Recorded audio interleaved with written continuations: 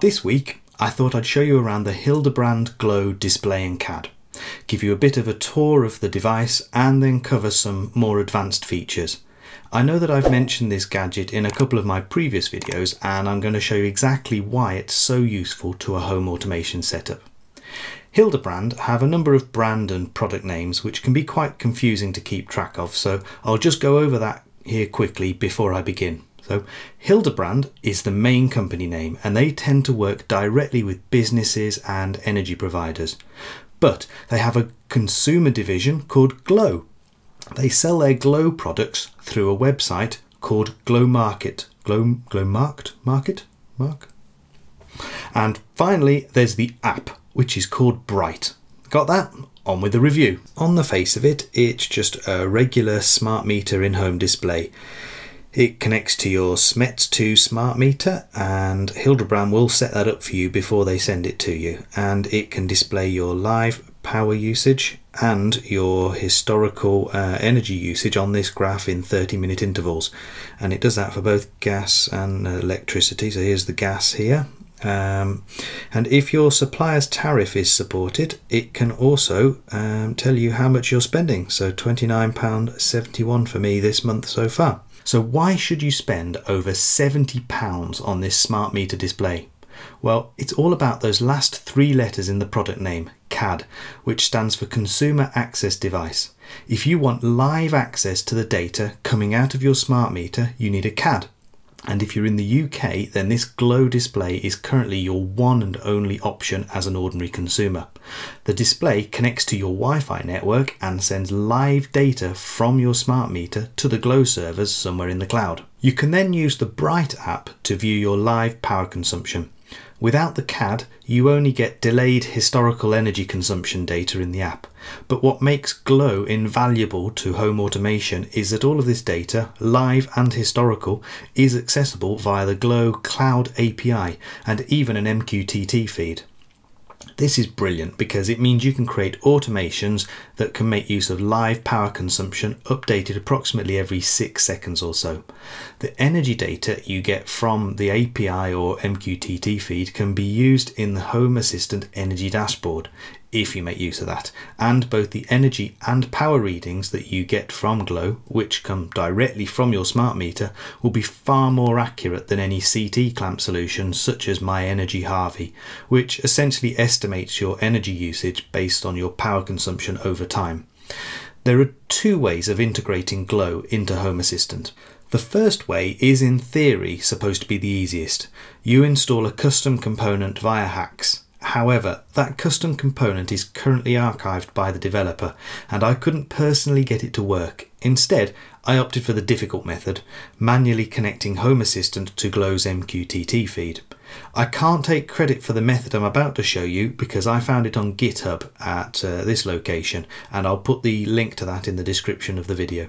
Um, I have made a few minor tweaks to the process here so uh, be aware as we go forward that it's slightly different. Now you can just go ahead and connect Home Assistant straight to Glow's MQTT broker if you wanted to but the problem with doing that is Home Assistant has a limitation of only supporting a connection to a single MQTT broker.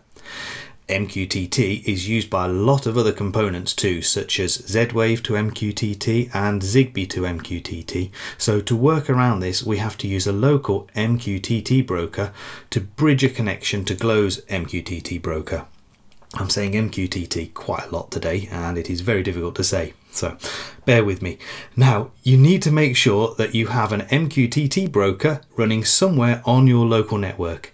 If you already know what you're doing with this and have one running already, then great. But if you don't, then I suggest you go to Home Assistant's add-on store and install the Mosquitto add-on. When setting up the add-on, make sure that the Customize section has a parameter called Active set to True and a folder parameter with a value of Mosquitto. This tells Mosquitto to read additional configuration files in another location. Uh, keep in mind Mosquitto has got two T's in it at this time. Next, you need to connect to a share on your Home Assistant server itself called share. You may have come across the config share already where most of your data is kept, but we need to access one called just share.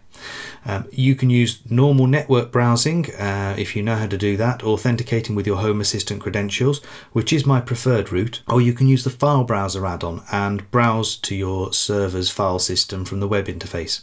Uh, whichever way you do it, you need to create a folder within the share called Mosquitto, note the lowercase and double T again.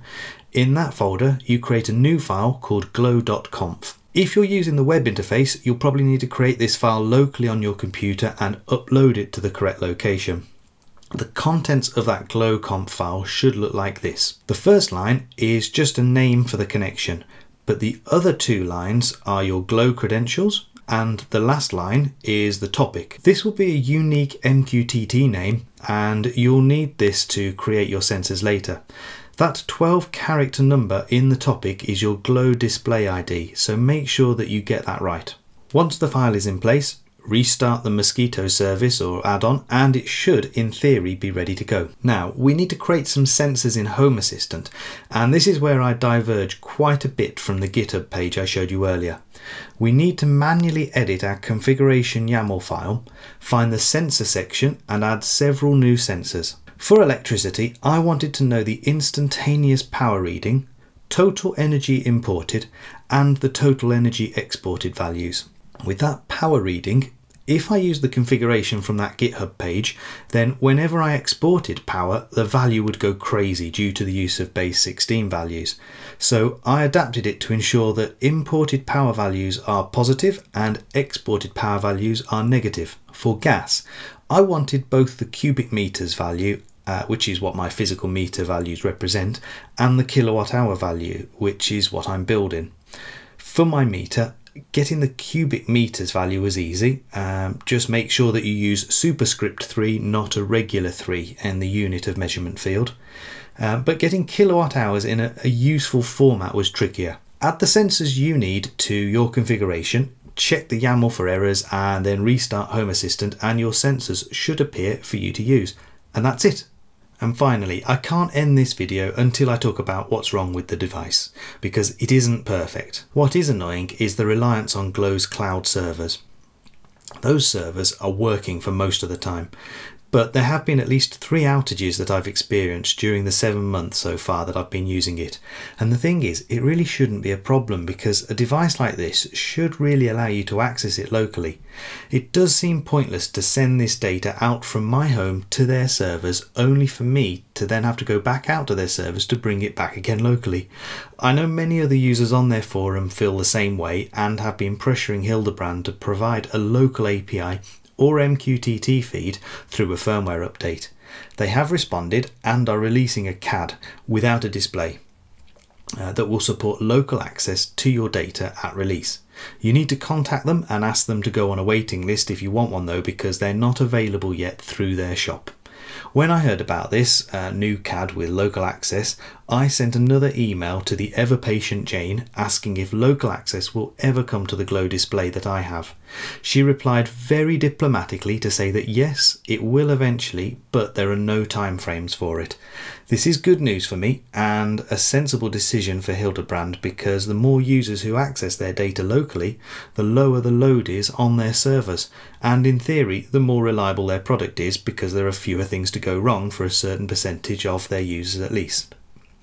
With that bad point out of the way, I'd still suggest you get one of these if you need to monitor your power and energy usage in Home Assistant. There is no real alternative product out there that I'm aware of that can do this, so they've really cornered the market. Well, I'll end this video here. If you liked this video, then please click the thumbs up button, and if you'd like to see more videos from me, then please subscribe to my channel. Thank you for watching. Goodbye.